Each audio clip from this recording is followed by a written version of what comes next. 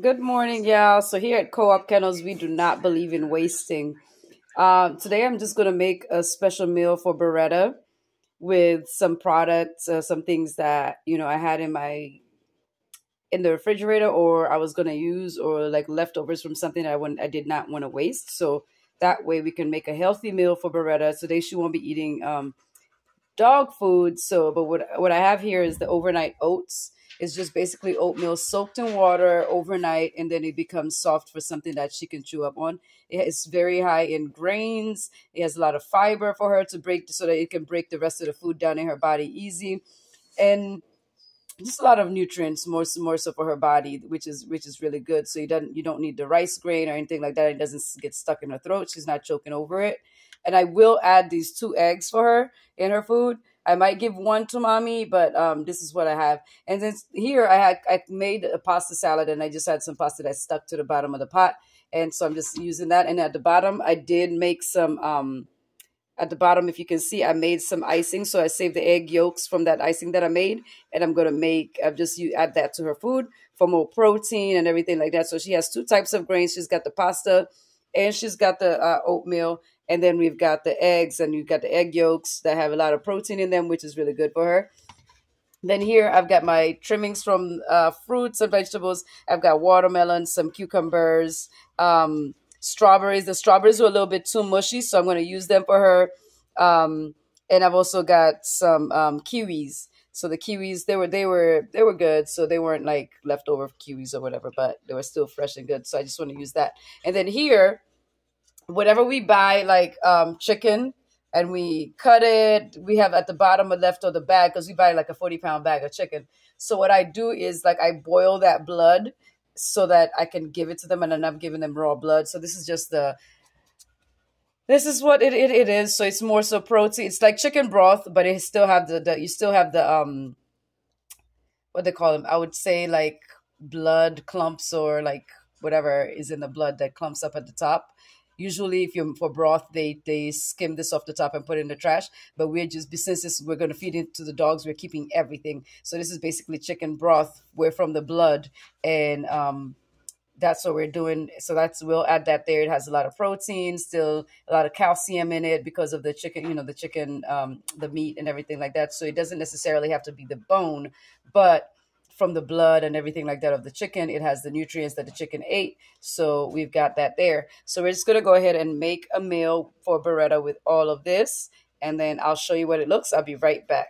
So here's the bowl of food. As you can see, it's very colorful, which you would like to do, which you would, which is good because you want that for to, to have a colorful diet for your dog which means they're getting all different spectrum of the nutrients. They've got the vitamin E's, the D's, A's, B's, all that stuff there. The red is for their blood and everything like that. They've water retention and they've got enough protein in there, which is the same thing as with adults. So it's very important that when you're feeding your dog anything, you think about yourself. Would I eat this if I was a dog? If I was an animal, or if, if an animal was me, would they eat this, right? So that's how you kind of want to think about it when you're making your dog food or even choosing a, a food for your dog. So today, Beretta's eating a really healthy meal. She's got her grains, she's got her protein, her, her meat protein, she's got her uh, fruits, she's got her vegetables. So this is a pretty, pretty, pretty, pretty um, versatile bowl. It's a very balanced diet for her today, which is what I really like doing with with the dogs a lot of times. Now, as you can see, I did not use all of that because this can be stretched into a lot of dog foods. So this is also something that I use when I'm trying to trick dogs that really don't want to like if you feed them a lot of dog food they get tired of it.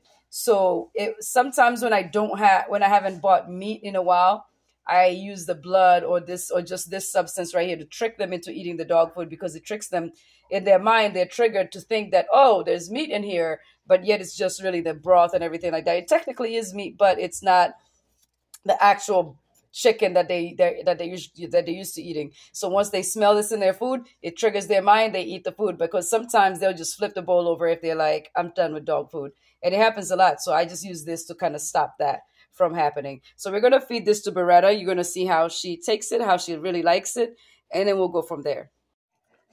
All right, so I've got Beretta here. There's her bowl, and there she is. eating herself away.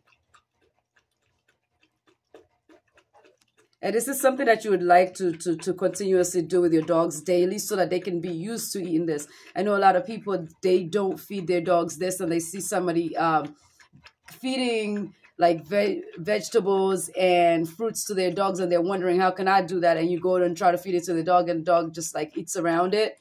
But you have to start them off when they're young and keep it consistent in their diet so that they can know that, okay, this is something I'm supposed to be eating or I should be eating that is good for them. So you can kind of get used to it. It's kind of like children. If you don't feed them vegetables, they're not going to get used to those vegetables. Then when you start feeding them vegetables, they're like, I'm not eating this, you know? So same thing with animals. You just got to do whatever you want to do to them. You have to start it when they're younger or start it from somewhere and consistently do it so that they can continue eating it. See, the first thing she's eating right now is her eggs because she recognizes the eggs. She loves the eggs and that's her thing and then she'll go in and eat everything else around that. So yeah, it's really good that she's gonna um it's very good for her health, for her growth as well. I would have put milk in there, but it's gonna be too much protein since I've already put that chicken stuff in there and the eggs. So you don't want to feed them too much protein, just like a just like a human being. Too much protein is really not good for you. All those people who are with their keto diets, protein's not good for you. You need carbs and everything like that to burn off. So you don't burn off protein, you burn off carbs. But um, definitely uh, you don't want to overload with a lot of things. So it's very good that you know you, you definitely want to keep their diet where it needs to be at. And I'm going to let her go ahead and continue eating her food in privacy. Um, and then we'll um, that's it for the day so that's just my way that i like to feed the dogs i did give some of the food to mommy and mommy. So when, when you have puppies, it's really good for you to feed them a really healthy diet like this. Um, as they get older, you want to consistently keep keep it up with them. It really helps, like I said, with her coat. You see how shiny her coat is. It wasn't like this; it was dull. I used to have to give her a shower. I would wash her and blow dry her and all that other good stuff. And her still, her coat was just looking dull.